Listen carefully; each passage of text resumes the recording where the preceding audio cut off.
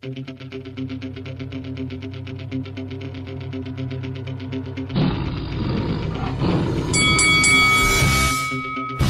Michael Buffer here, and you are watching Lights Out. This is Faisal Khan for Lights Out, proudly sponsored by Spartans Law, and we're here at Bournemouth Beach.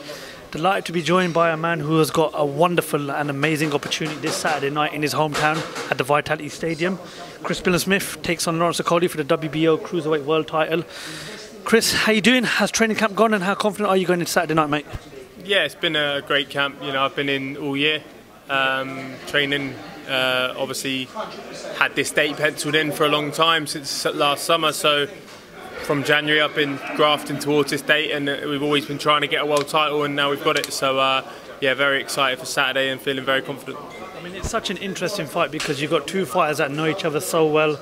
Um, I'm hearing you've done over 300 rounds of sparring. You know, your former stablemates, obviously, Lawrence is now with uh, SugarHill Steward. But just want to sort of go back to the, the sparring between you and Lawrence. At that time, you were stablemates, but going back to that sparring, you know, what was your initial thinking after you sparred Lawrence? It, was it there you felt to yourself, do you know what? If we do get in the ring one day, if we do get in the ring one day, I know I've got I've got what it takes to beat you.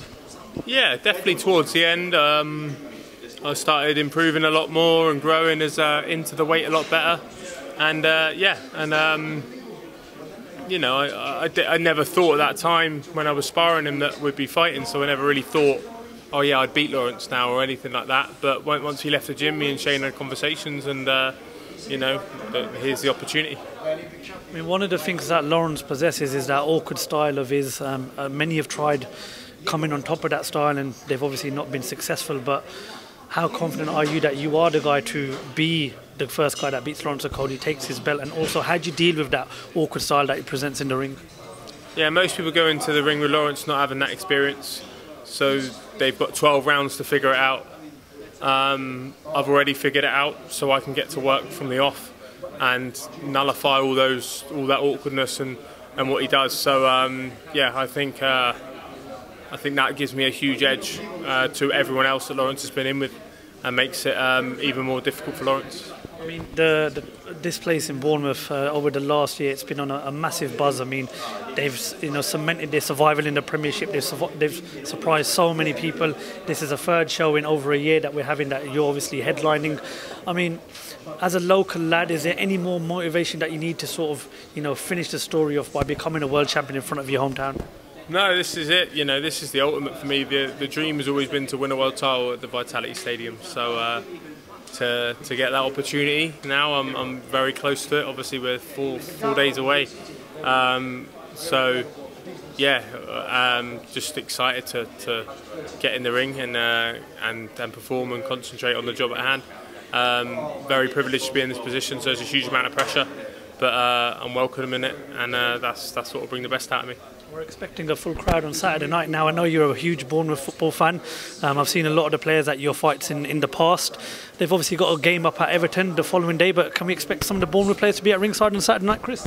Yeah, I saw uh, saw a couple of them last night. Actually, they were uh, having um, they were in the, the hotel. They were had a little sort of meal in the hotel. So um, yeah, I spoke to them, and yeah, most of them are gutted. I was like, they'll be pulling up with injuries this week, trying to blag it, so they don't have to go up a day early. I hope not, because I'm a Liverpool fan, and I'm really hoping you send Everton down this week. uh, but yeah, no, um, a couple of them who are who are actually injured um, have uh, are coming. I think two of the players. Um, yeah, so uh, it'd be good good to have them there. Shame the rest of the lads can't, but they've got a job to do. Chris, I'm not going to keep you for too long because I know there's so much other media type of type of work you've got to do as the day goes on. Um, but just tell the fans how does this fight end on Saturday night? Chris Billam-Smith um, stoppage, TKO, KO, whatever. But um, this is not going to points. Oh, man, Chris Billam-Smith, we wish you the best of luck. Enjoy it, and hopefully we get to speak to you after fighting on Saturday. Thank you, mate. Cheers.